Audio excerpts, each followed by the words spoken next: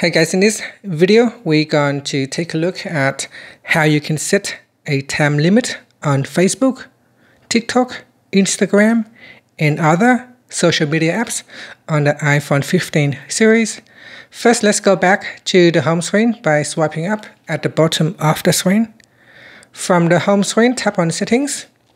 Now in the Settings page, we scroll down and then tap on Screen Time then go down and tap on App Limits.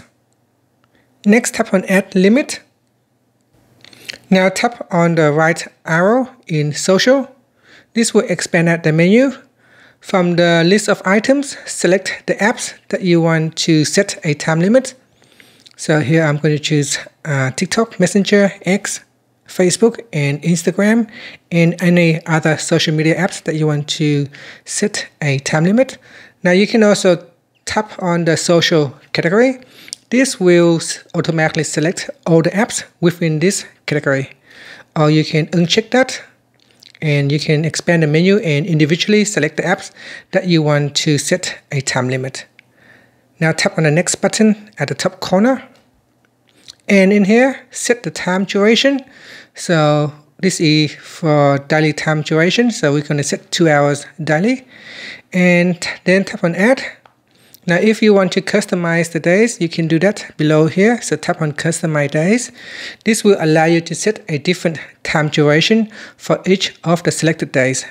So let's say on Saturday, I want to allow three hours. And on Monday will be one hour. And on Sunday will be three hours. And then tap on back. Now tap on the add button and that will create a new time limit for the selected um, apps or the uh, category. And that's it. Finally, you can uh, swipe up to go back to the home screen. And that is how uh, you can set a time limit for the um, for the social media apps of uh, individual apps such as uh, Twitter, uh, Facebook, Instagram, and so on. And that's it. Thank you for watching this video. Please like and subscribe to my channel for more videos.